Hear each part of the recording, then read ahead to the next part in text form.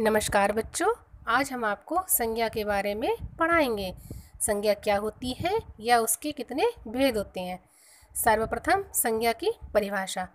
किसी व्यक्ति, स्थान, वस्तु, गुण या अवस्था के नाम को संज्ञा कहते हैं। जैसे राम, लड़का, मंदिर, हरिद्वार, पुस्तक, सुंदरता आदि।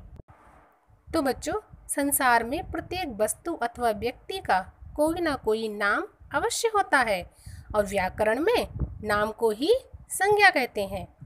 संज्ञा के तीन भेद होते हैं। सर्वप्रथम व्यक्तिवाचक संज्ञा, द्वितीय जातिवाचक संज्ञा और तृतीय भाववाचक संज्ञा। तो सर्वप्रथम व्यक्तिवाचक संज्ञा।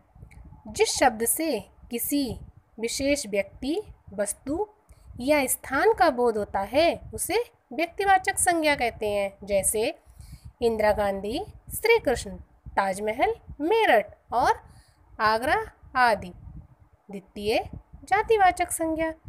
जिन शब्दों से उस वर्ग या जाति के प्राणियों या वस्तुओं का बोध होता है, उन्हें जातिवाचक संज्ञा कहते हैं, जैसे पेड़, मेज, बत्तख, पुष्प, नदी, शेर आदि।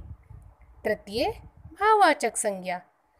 जिन शब्दों से किसी व्यक्तिगत या वस्तु के गुण, धर्म, दशा, स्वभाव आदि का बोध होता है, उन्हें भाववाचक संज्ञा कहते हैं।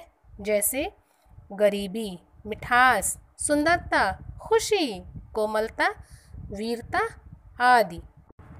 इस प्रकार, बच्चों, हमने जाना संज्ञा किसे कहते हैं या संज्ञा के कितने भेद होते हैं? धन्यवाद